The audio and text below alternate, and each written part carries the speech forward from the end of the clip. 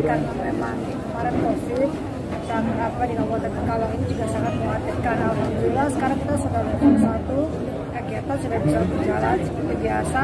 Yang penting protokol kesehatan dijaga. Dan saya pesan kepada anak-anak karena di Pekalongan ini saya yakin banyak sekali anak-anak eh, Pekalongan yang pintar baca Al-Quran tapi mungkin eh, kita belum menggalinya. Dan insya Allah dengan MTQ ini yang tadinya malu-malu bisa keluar semua dan kelihatan bahwa Kabupaten Pekalongan ini jago-jagonya Al-Quran Pekalongan.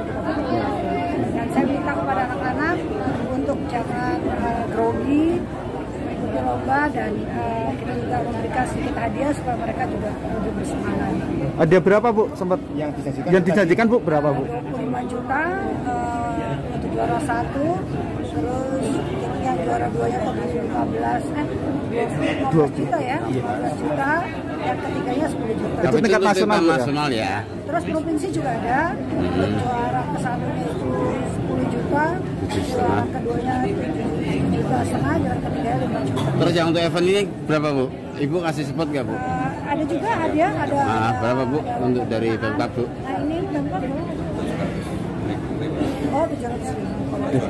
Bu harapannya harapannya ke depan bu dengan adanya eh, lomba MTQ ini bu. Pertama anak-anak eh, belajar untuk berlomba dengan tidak takut, belajar untuk eh, berani mengeluarkan bakat-bakat yang mereka punya.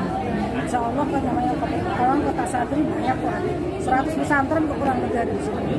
Jangan lupa follow, like, dan subscribe sosial media Tribun Pantura.